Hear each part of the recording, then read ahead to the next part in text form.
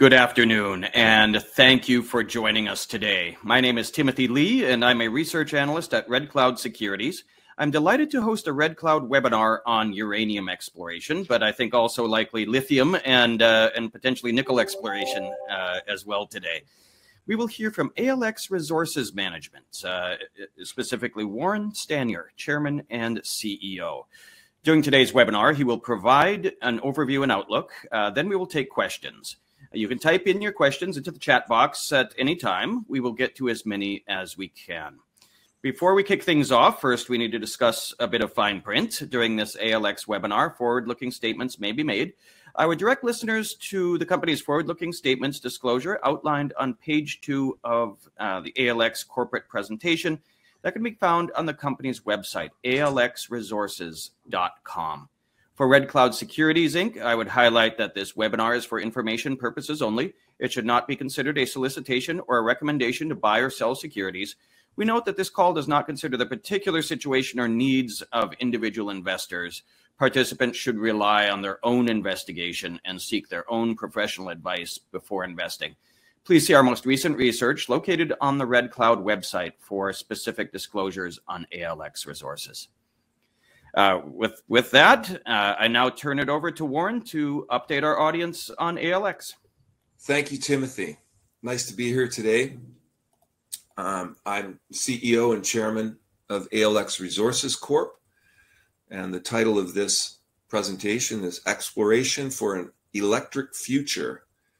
I think we're all becoming well aware of the decline in fossil fuels use and the shift, this transition time that we're in, and we're looking for the metals that are needed to achieve that. There's our forward looking statement, which uh, Tim mentioned.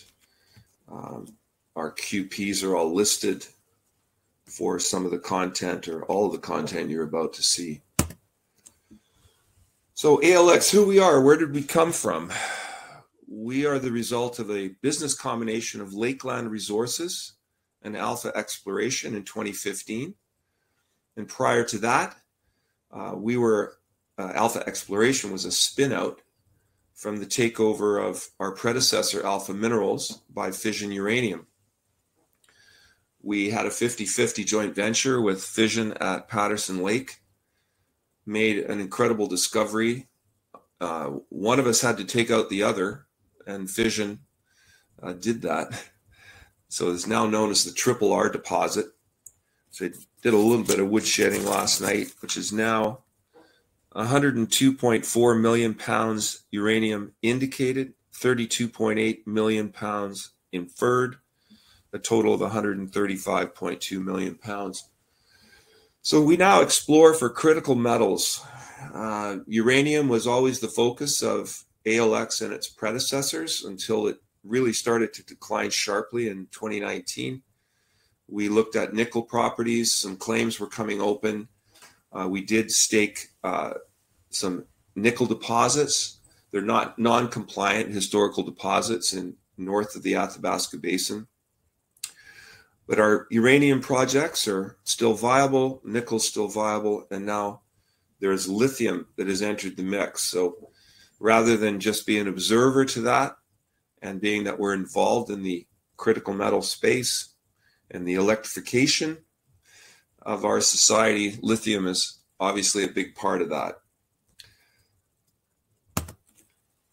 A little bit about us. Uh, myself, I've been involved for 26 years now. I don't know why it went so quickly, but it did. A few discoveries in, in various companies that I've been in. Discoveries are great. They make our shareholders very happy. Jody Dahrouge one of our directors has also been involved in discoveries and most recently the Corvette lithium deposit. His group, Dahrouge Geological Consulting, was involved from the beginning of that.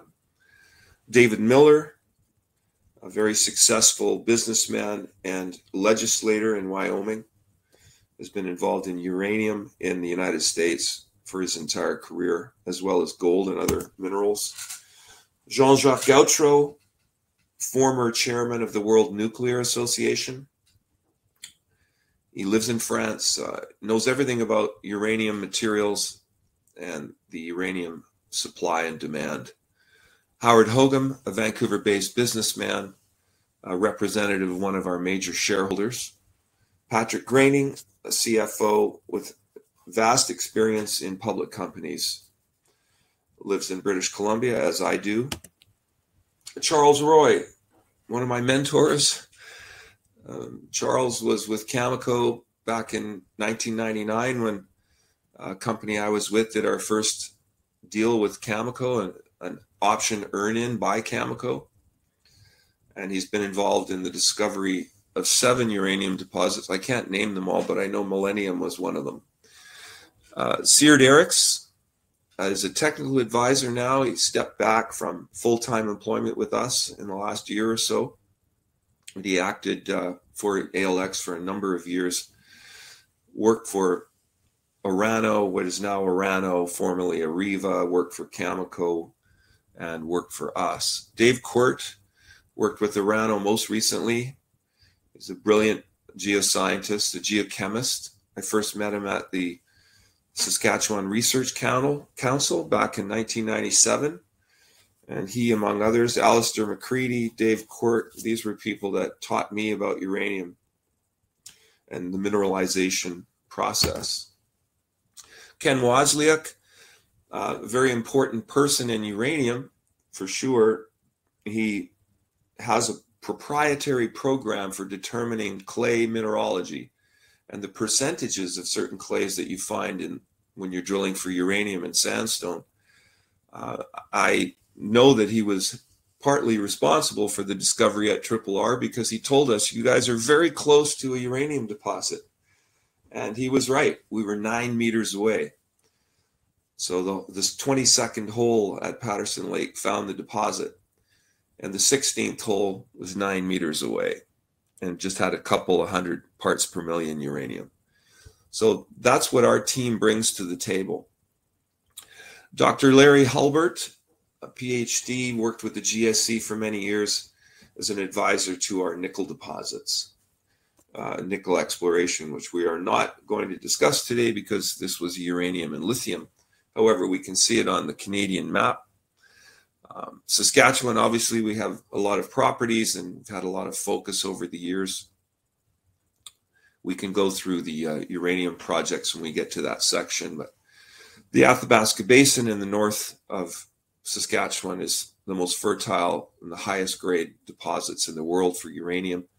And now we're starting to look at lithium in Saskatchewan as well, which was ignored for many years, as it was in other provinces as well. Um, lithium and pegmatites was something you walked over. It wasn't necessarily something that you would consider drilling, or making into a mine. So today we'll be talking about a couple of our uh, current projects and what, what will be happening in 2023 in uranium. Also, the Crystal Lithium project, a new one we announced today, Reindeer Lithium, Hydra Lithium in James Bay region, and Anchor Lithium in Quebec. So here we are, the future is this what our towns and cities will look like? I like the picture. But, uh, green, the green revolution is upon us. And if you're not part of it, then you're just going to be watching. So, definitely being in uranium was always energy related. But now, with the components for batteries being so important to our society, that's nickel, that can be cobalt, uh, and of course lithium. Just a graph I pulled off the Canadian government website, fossil fuels use forecast. So this is over a 45 year period. We get from 2005 to 2050. So 45 years, we're going to be down 62% is the prediction. Myself, I, I think that there will be a market for fossil fuels and certain vehicles and certain things. Uh, I have a plug-in hybrid uh, that I use. It ha- it takes gasoline and you can charge a battery, so you get both. And I think, especially at this time, this is the transition that we're talking about, where we're phasing out because obviously we want to use more electric. and it, it is cheaper than the cost of gasoline, which I think we know has gone up substantially. So, of course, the electricity demand in that same time frame is projected to be almost 50% higher. So, Canada has developed a critical mineral list of which we are actively pursuing. So, on this list for LCT pegmatites, that's lithium, cesium, tantalum, we see those three. We see nickel, copper, cobalt, which also occur together and we see uranium, which I've highlighted in bold. So there's a joint action plan that's been announced by Canada and the US to develop domestic supply, reliable integrated supply chains for these metals so that we're not held hostage by foreign powers. And I think we have had that happen in the past. It's always a tug of war between countries. We need to be independent and we're happy to be involved in the search for and the discovery of these metals. We've all seen this chart, I'm sure. The lithium demand, lithium ion battery demand, again, the next seven years, there's going to be a huge amount of demand. And it, Volkswagen just announced the battery plant today for Ontario, Canada. Uh, it's it's going to be producing by 2027 is what I read just just announced a few hours ago. At PDAC, we had Volkswagen representatives walking around introducing themselves at the booths. So there you go. So a little bit about our lithium exploration in Canada.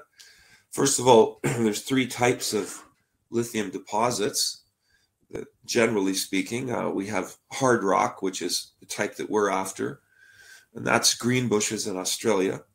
Brine deposits, which uh, this would be a salar down in South America, where the brine is pumped out of the ground into ponds, evaporated, and you end up with your product that you can refine gradually over a period of a year or two as the, this evaporation process occurs. And probably the latest one now is the brine deposit or the clay deposits rather in Nevada and other places, Arizona, where people are working on extraction methods to take lithium out of these clays. And these are some very large deposits. In our case, we're looking for pegmatites, hard rock lithium. So this is our Hydra Lithium project in Quebec. Uh, we sampled there in October of 2022 we first staked in September, and I'll show you the map for that in a moment. But this was, uh, we had to wait for an hour, an hour. We had to wait for 30 days, a month, before we could go out on the ground.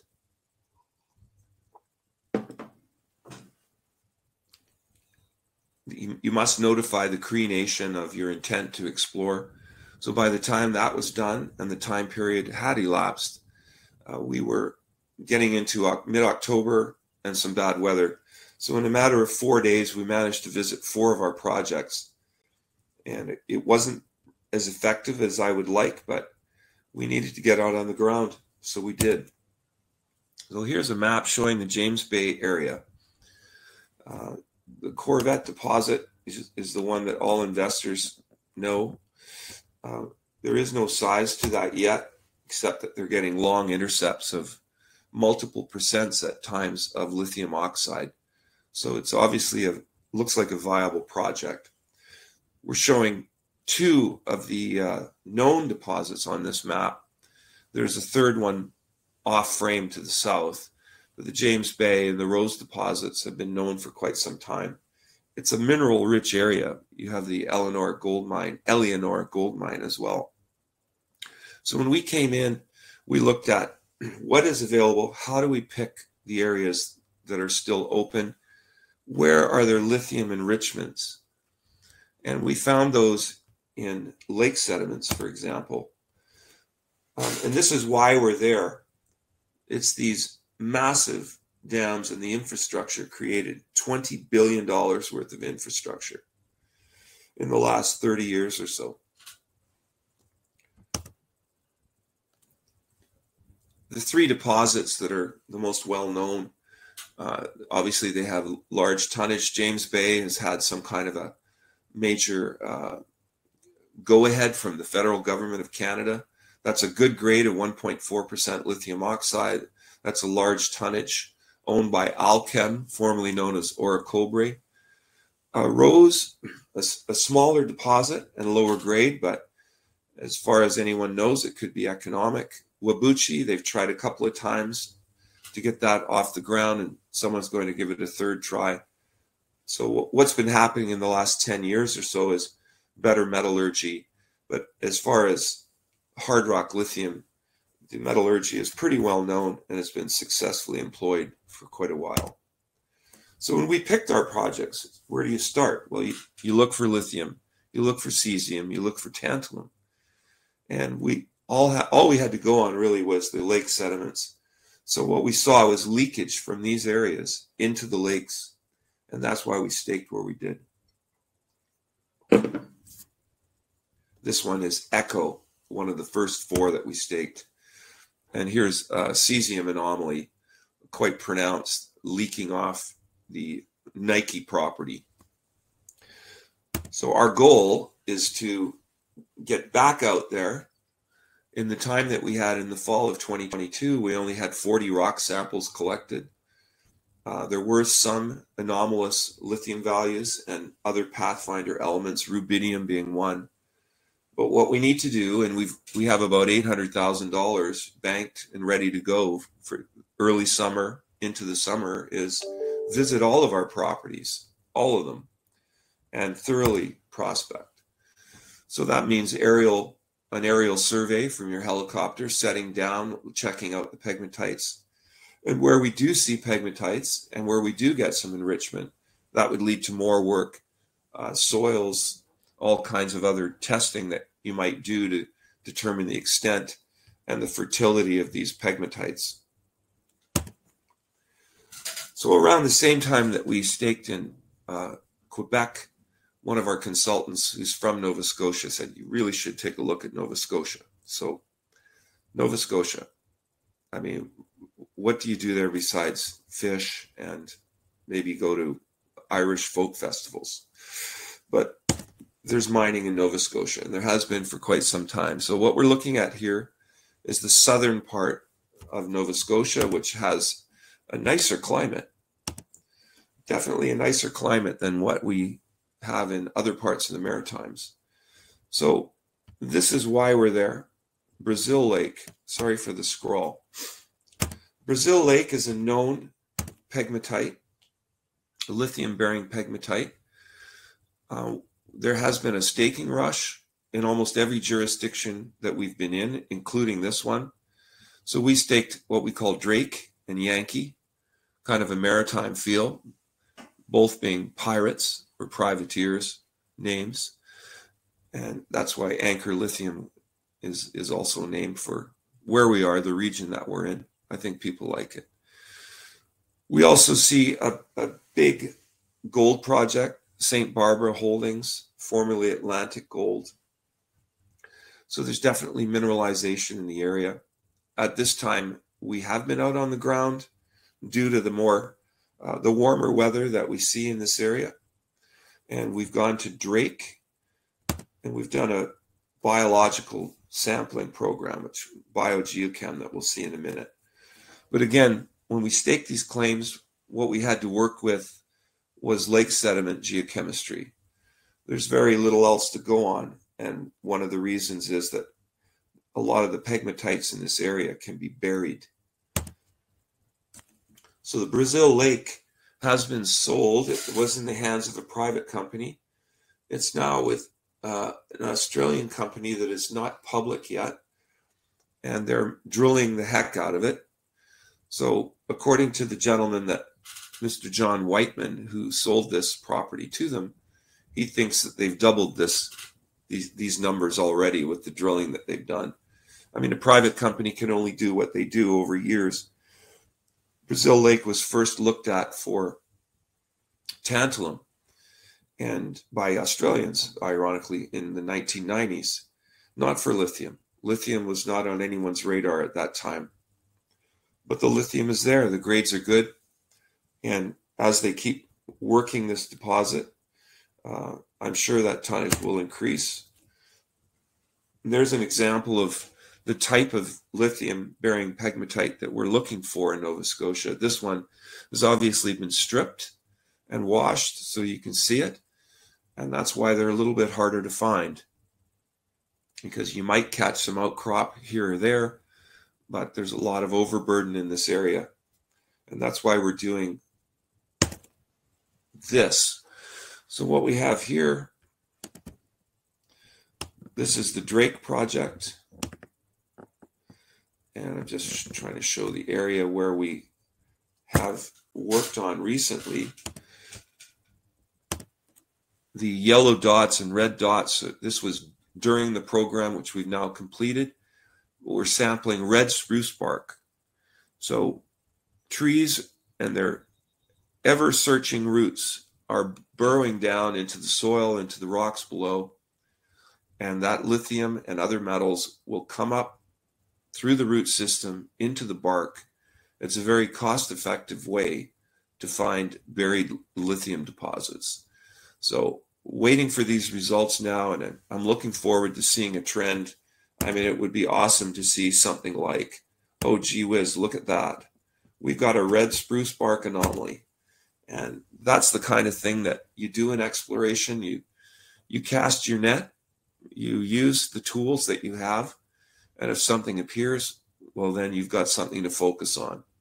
So we'll probably have to wait another month or so to me, it was quite amazing that we could get this work done in December, January, and in February at the Drake project. So it's nice to know that this is almost a year round project in this part of Nova Scotia. So we started turning our, excuse me, we started turning our attention to Saskatchewan, which is where I've worked for over 25 years, and many of our group has as well lithium was not something that was sought by the explorers in Saskatchewan. But we now know, due to some work in the 2000s and fairly recent work, that there are lithium lithium bearing pegmatites. This is in the north, our new crystal lithium project. We found this lodge that has an airstrip.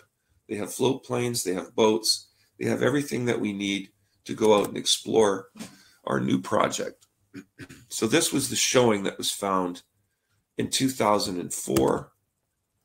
I'm sorry if I left that from the previous slide.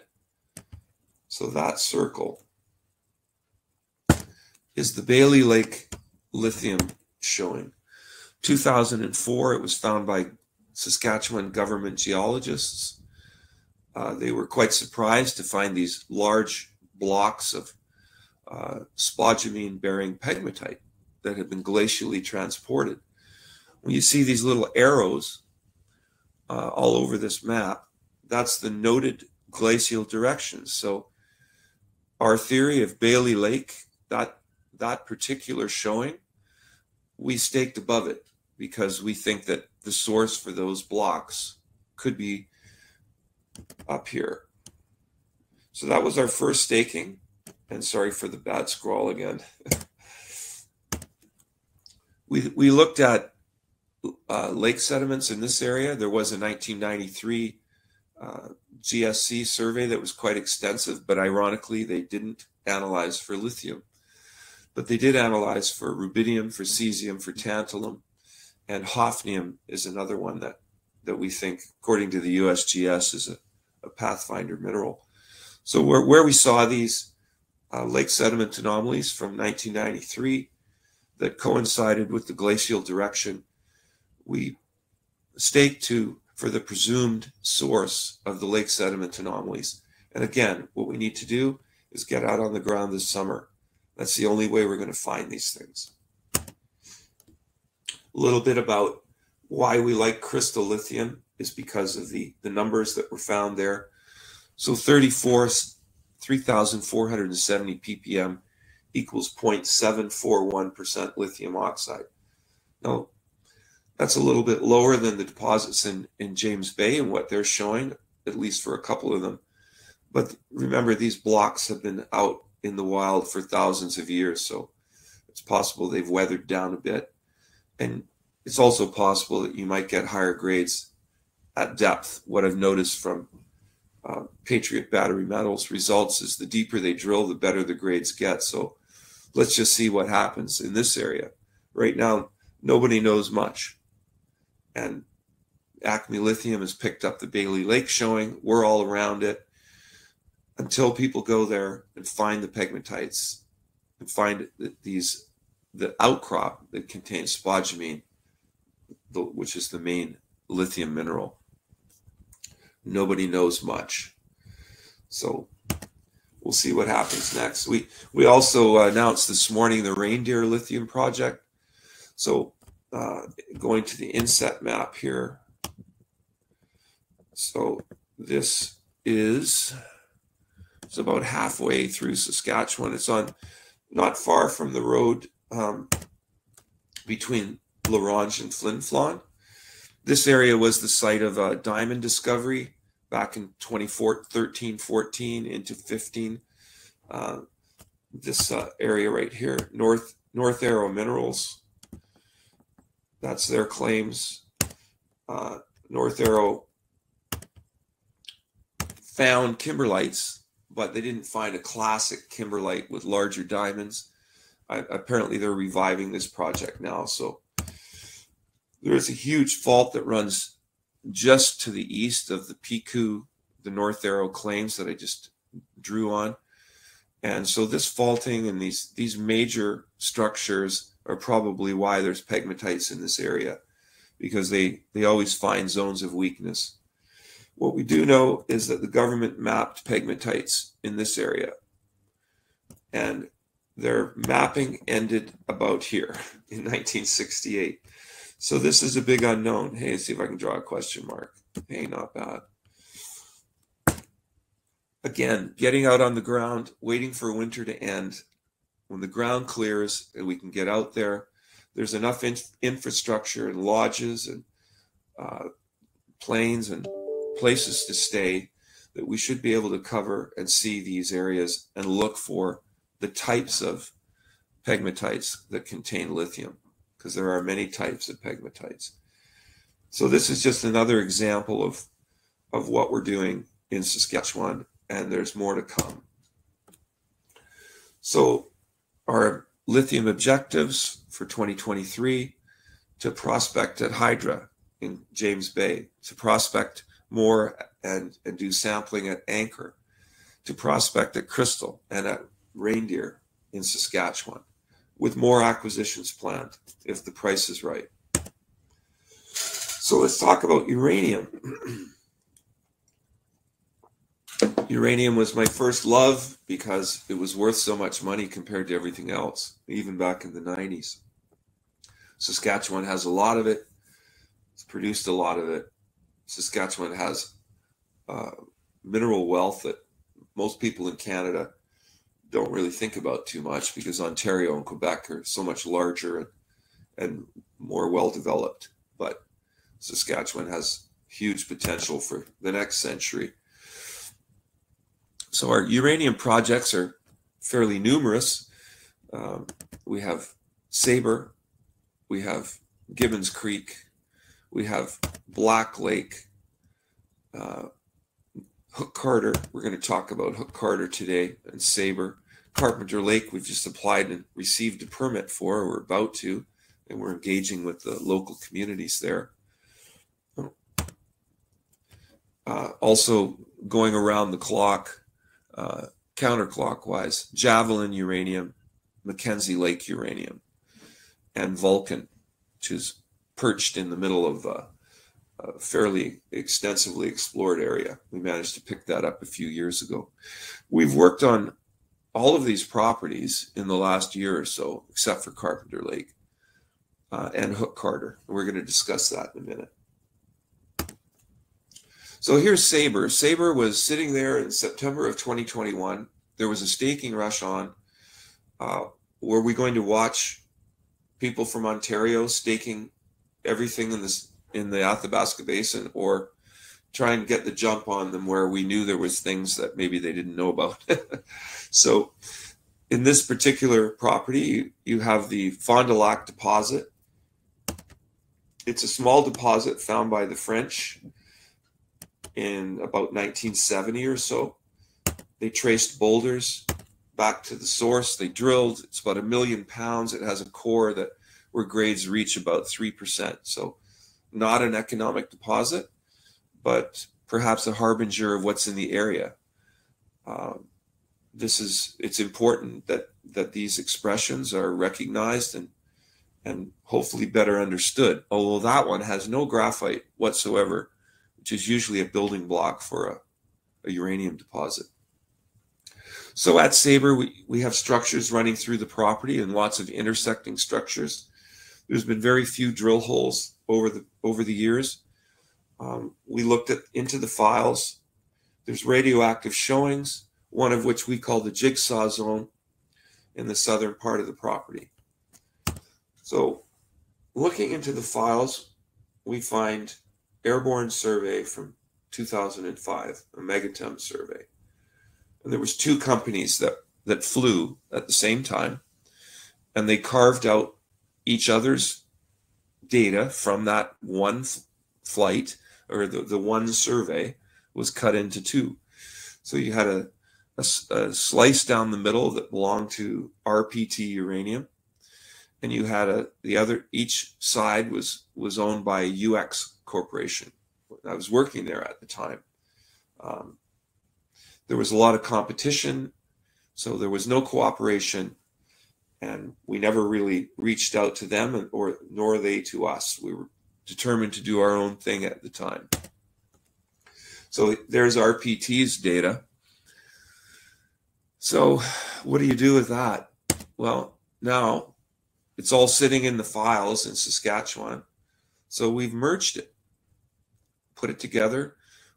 Now, these these areas can be discounted because that's Richards Lake.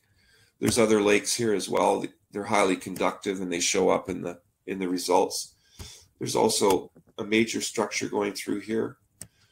Um, but we were more concentrating on some of the things we saw, like in this area. So we decided to do some ground geophysics. And the ground geophysics, we did three separate grids. And that was just uh, recently. We, we managed to find uh, there was a warming trend going on in Saskatchewan, and some geophysical company was unable to perform the work they were doing in the south. But it was cold up here. So we did these three grids. And the one that was the most interesting is the middle one, which we call MNL02 because that was the name of a drill hole that had been drilled by UX back in 2006. So this is some of Ken Wasyliuk's work looking at the clay uh, mineralogy of this drill hole. So we're starting at 20 meters here. This the upper part of the hole. Uh, the unconformity was just over 310 meters, which is not terribly deep certainly, uh, you know, we don't like drilling to the unconformity when it's 700 meters. It takes a long time and costs a lot of money. But what we do see in this hole is a dravite anomaly, which is a boron mineral. As a, a famous geochemist, Vlad Sopuck, said to me once, Warren, where we have dravite, we have uranium. And what he meant was that this is often found peripherally, peripherally to uh, potential uranium mineralization. So you can't ignore these things when you see them. Well, UX drilled one hole in 2006. It was really a prospecting expedition at the time, and they drilled off the airborne. So, what we see on this side, this is the airborne data. Uh, we designed a grid to help define this airborne data better. And what we ended up with was we modified the grid somewhat due to the time we had and the cost of it. It was all helicopter supported. So what we have here on the left is the bird's eye view or the plan view of our loop and the lines. And the drill hole is just just to the south of the loop, the old drill hole, MNL02, that had that dravite in it. What we realized from watching us, from, from observing the results of this particular survey, is that MNL02, with our better defined conductor, was drilled about 275 meters short of the target. From my experience, you can see dravite for hundreds of meters near where there could be uranium. So in this particular case, seeing the dravite there, but they missed the conductor. What we see now with the better definition of the conductor, we've got a drill hole planned to hit the top of the conductor. And that's where often these, these graphitic conductors, if it is graphitic, would be uh, potentially altered from fluids. There's more fluids moving uh, close to the unconformity. So it's a pretty exciting target.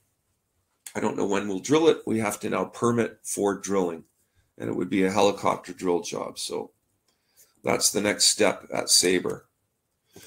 So let's look at Hook Carter. Hook Carter has been quiet, too quiet for my liking. We sold uh, 80% of this project to Denison in 2016 and it was a great deal for us at the time. Uh, things weren't great in the in the uranium business at the time, and to have this influx of money from Denison, and they were going out to work, it was it was a gift in a lot of ways. Um, they drilled over two seasons.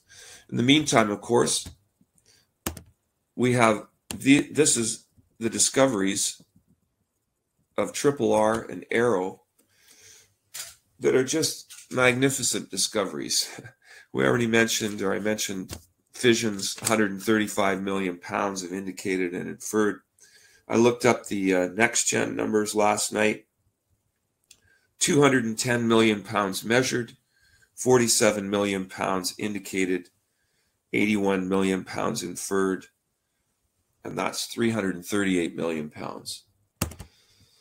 All because of being nine meters away from a hole at Triple R and then drilling that follow up hole because one of our consultants said we should. And then a great team working and using radon. And that was Fission's people, it was our people as well. And from that, we have this, this new district that was really ignored for many, many years. Patterson Lake Corridor runs onto what we call the Hook Carter property. We also have the Carter Corridor, which the joint venture of Orano, Cameco, and PurePoint is drilling as we speak. So the Carter Corridor is, is really unknown. The Dirksen Corridor, there is a mineralized hole there from 1978. Um, these are all mysteries that we're trying to solve. We're solving them, obviously, in the Patterson Lake Corridor. But these other corridors have very few drill holes. And that's the thing that needs to be done at Hook Carter. So when you look at this slide, we've tilted, kind of given a 3D look at, at the project. This is an older slide from about three years ago because nothing's happened since 2019 on the property. Denison got busy with their other projects, specifically Phoenix, Phoenix, they've done an incredible job on their in situ recovery program. It's it's a landmark effort in the Athabasca Basin. So what we have is where you see the red blobs; those are the the deposit outlines for Triple R for Arrow. Um, maybe that's a little large for the Harpoon Spitfire, and now there's Dragon as well, I believe. Yeah, the Dragon discovery. Um, but the, what you see, all those blue lines, those are that's the drill density.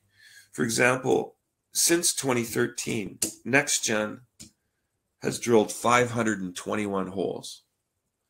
521 holes. So Denison has drilled 15 holes on our property. And what you see on some of these, these lines are showing the distances between holes at that time. And there are big distances between holes. So I was looking at the recommendations last night that were made back in 2018, 2019. And really, we were just getting started when they decided to just pause at Hook Carter, uh, develop targets in a different way. So that's what I'm looking for because it's been years since a hole was drilled. And what they have decided to do well, here's an example of one of the holes from 2018. Um, we had a lot of the hallmarks of a mineralizing system. We had uh, that beat up, twisted, sheared graphite in the first hole. We've had all kinds of clay alteration. Uh, the one thing that's lacking, obviously, is is that one hole that pierces uranium mineralization in, in a meaningful way. And I'm talking about you know more than a half a percent, 5,000 ppm or better, because that's what you need when you're drilling at these depths. So we're looking for an elephant. And I hope that we find it because if I go back to this is a claim that we sold that our company sold to Cameco in 2016. So you have to ask, why would they buy that? Because they think there's something big there. That's the only reason, because it's 700, six, 700 meters to basement. I, I think there's a prevailing theory that there could be large deposits that still have not been found. And I think that Arrow started to show us that. When, when NexGen found their incredible deposit at depth, that that gave people this momentum just to think of what could be in the areas along trend that, that are just a little more difficult to work in because of the depth. But what if there's elephants? It's elephant country.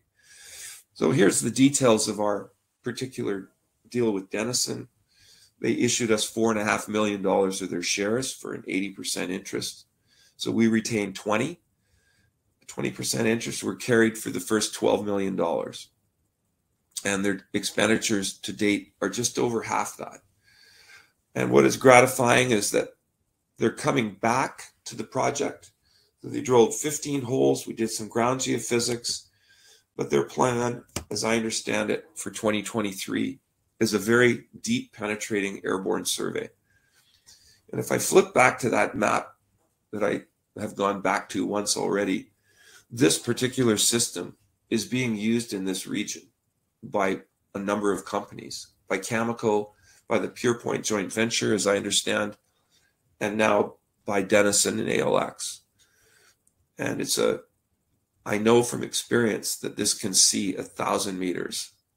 Not that you'd want to drill to a thousand meters and find targets there, but certainly that 500 to 1000 meter target range, if there was something there that no one could ever see before, ZTEM will see it. And I have the proof of that from work that we did at Black Lake and at Rio Lake in 2017. So I'm looking forward to new targets being developed and Denison wanting to drill them. And we're carried for the next $5.3 million of work. So our exploration philosophy and in summary is we use historical work. It's free. It was often could just be the harbinger of, of something else. The historical exploration could only see so deep. They only had so much money.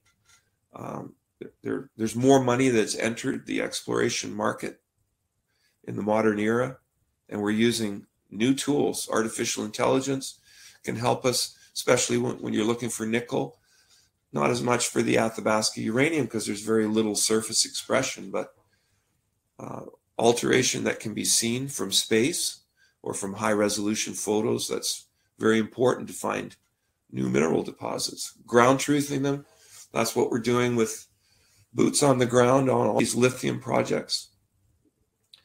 You have to get out there, take samples, and that means helicopters buzzing in and out like like Navy SEALs. That's what I call it and use all the leading edge tools to develop targets and go drill them.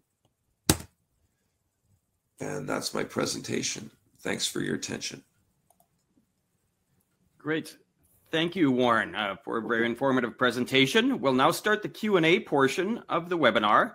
Reminder to everyone on the line that you can type your questions into the chat box at any time.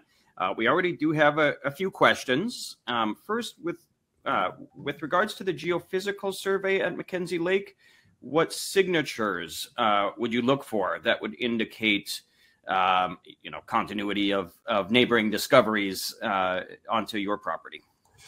So what we have done at Mackenzie Lake is we flew uh, a high resolution mag and radiometric survey, the same one that was used at Patterson Lake. And if I had, I could show you all of that, you know, in a different presentation. But this particular survey method, because the the uh, method is to fly as low as possible, it has a huge radiometric crystal. So we, we have found radiometric anomalies at Mackenzie Lake um, but they're a bit puzzling. There could be some kind of mass effect in in some of the uh, the boulder piles that we found uh, because we're we're we're seeing definitely there's radioactivity in the rocks there. So what you're looking for in the mag is magnetic low channels or the edges between the mag highs and the mag lows. Uh, there's other people working in the area and they've been publishing their results as well. And and ours seem to fit very well with them. So, where are we going with that? At this point, we don't have plans uh, to drill yet. We need to do more work on the ground. We rushed out there in, in late 2021, picked up a few samples, and that's all we've done outside of this very uh, tightly spaced, high resolution airborne survey. Um, question here. Um, how can an a little bit open-ended question here, but how can an exploration uh, drilling company add value to the service that supports the development of critical minerals? Okay, can you just say that again? yes. uh, how can an exploration company uh, mm. add value to this, I guess, the service that supports the development of critical minerals? Well, how can an exploration company participate in the critical minerals, minerals uh, exploration industry? I mean, it's it's really what you want to be in. The governments of Canada, the governments of the United States are granting money to people. Um, in in Ontario, we're receiving uh, we're we're in line to get a two hundred thousand dollar payment from the government because we drilled our Electra nickel project last year uh, that's a significant amount of money.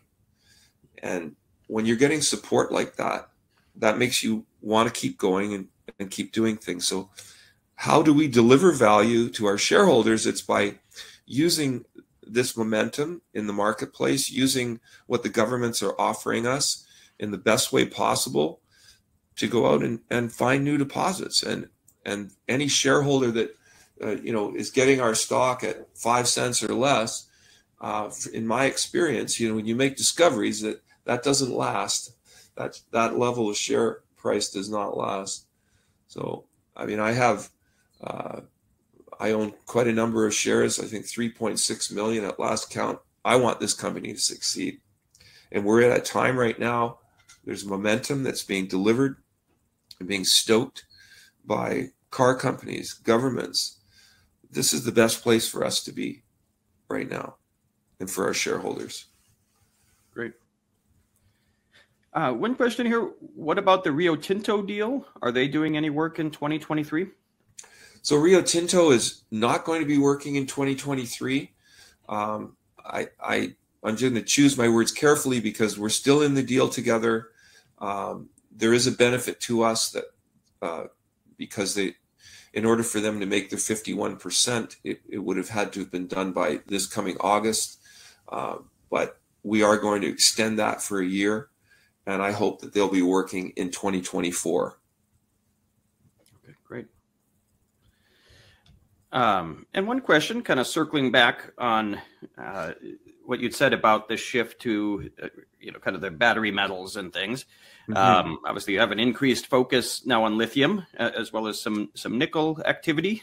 Um, how are you finding your shareholders are receiving this uh, this shift?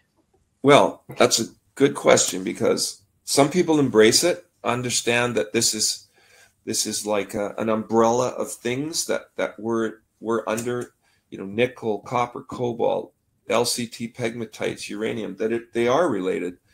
Others are more orthodox in how they think about, oh, well, are you a uranium company or what are you? Or are you a lithium company? Or are you just a flag that flies in the wind? But look, this whole business is about raising money and going out to find things. And we got into nickel because uranium was in the dumps. It was like $22 a pound or something. So, US for U3O8. So, what do you do? You keep banging your head against the wall and hoping that something will change and waiting or do you embrace something that's was on had momentum that was on the upswing and that was nickel and and so we went out and we did something and we found 3% nickel in, in trenches and outcrop at the firebird project and rio tinto did a deal with us so i think those things are positive. I don't look at that as a negative. Uh, uranium is is a cruel mistress. It's it's a tough thing to find. Uh, my career i've been lucky a couple of times. But you you know it's it's expensive and you can't see it from surface hardly ever. So uh, it takes a lot of money millions of dollars to completely search through a property and, until you're satisfied that either you found a deposit or or it's time to move on uh, when it comes to lithium now it's the same thing look lithium you can raise money for lithium because people know that it's so important for this electrification. So why would we ignore that? So we do have basically two groups of shareholders, those that that like uranium uranium first, let's call them, and then the battery metals first. And I don't know, maybe we should all, you know, meet in the middle somewhere. have a party. Great.